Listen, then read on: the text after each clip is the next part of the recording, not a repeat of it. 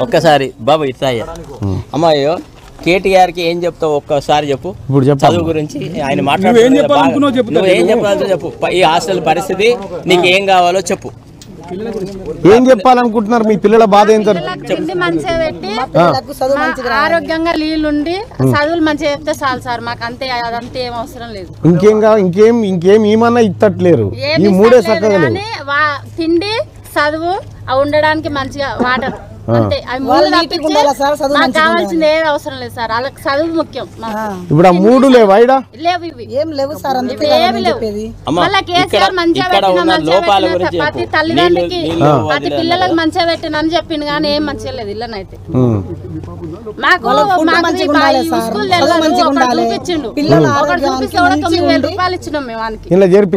ఇలా చేర్పిస్తాను. ఇలా తొమ్మిది వేల రూపాయలు ఇచ్చినాం.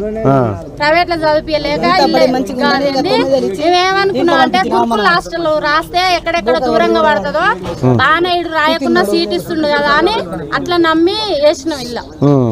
అంతే ఇంకా ఈడికి వచ్చి చూస్తే ఈ హాస్టల్. ఇది పరిస్థితి. ఏడి ఇదరా. ఏమైంది?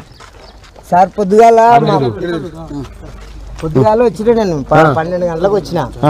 మా పాప వేరే పాప ఫోన్ చేసింది. అంకుల్ ఇట్లా మా పాపకు సుస్తాయింది వచ్చి తీసుకురంటావు అని చెప్పింది. అంటే నిజం చెప్తుంది అవదని చెప్తుందా అని మేడానికి ఫోన్ చేసిన. అవునయ్యా నిజమే వచ్చి తీసుకెళ్ళాలని చెప్పింది. అంటే వచ్చిన. వచ్చి మళ్ళీ ఈడ గేట్ కాడ గంట సేపు నిలబడ్డా.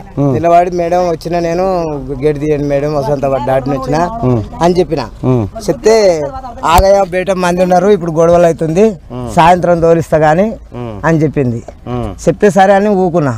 ఊకున్నాక మళ్ళా ఇట్లా ఏదో ముఖమన్నా చూతామమ్మా అని చెప్పి అంటే కూడా పంపిస్తలేరు. ఈ సార్ ఉండి అందరూ బయటికి దొబ్బుకొచ్చారు. ఇంకా ఇప్పుడు సంది బయటనే ఉన్నా. తోలలే. చూపియలే నాకు పొద్దున్న చూపియలే. సంగతి తెలియదు చూపియలే. నాకైతే చూపియలే.